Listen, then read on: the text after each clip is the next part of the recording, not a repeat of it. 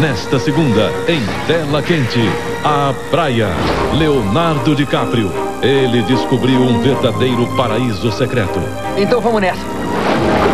Mas descobriu também que por trás de tanta beleza se escondem muitos mistérios. A gente tem que ir embora. E encarar essa aventura pode custar sua própria vida. A Praia, nesta segunda, em Tela Quente.